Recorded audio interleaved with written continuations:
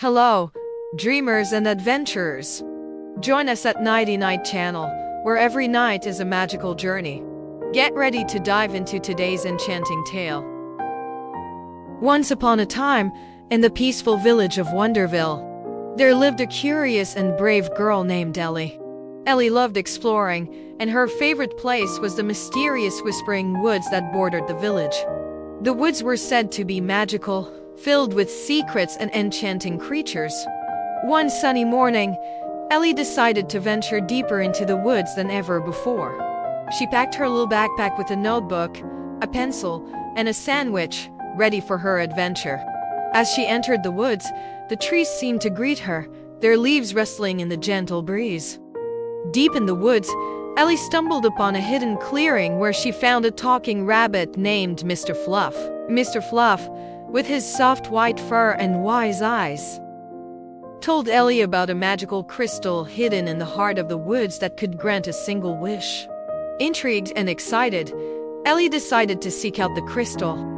She journeyed deeper into the woods, guided by Mr. Fluff. Along the way, they met various magical creatures. A shy fairy named Sparkle, who could create dazzling lights, and a grumpy old turtle named Sheldon, who knew every path in the woods. Their journey was filled with challenges. They crossed a babbling brook, solved riddles posed by wise old trees, and even found their way through a maze of thorny bushes. Ellie noted down every adventure in her notebook, her eyes shining with excitement. Finally, they reached the heart of the woods where the magical crystal lay on a pedestal, glowing softly. Ellie held the crystal in her hands, feeling its warm energy. She realized that her true wish was to protect the magical woods and its creatures. As Ellie made her wish, the crystal shone brightly, and the magic spread through the woods, ensuring its protection forever. Ellie promised to visit often and keep the woods safe.